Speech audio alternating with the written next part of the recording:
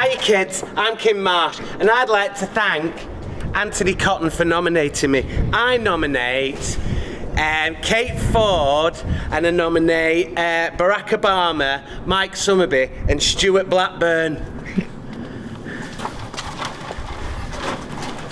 Have it!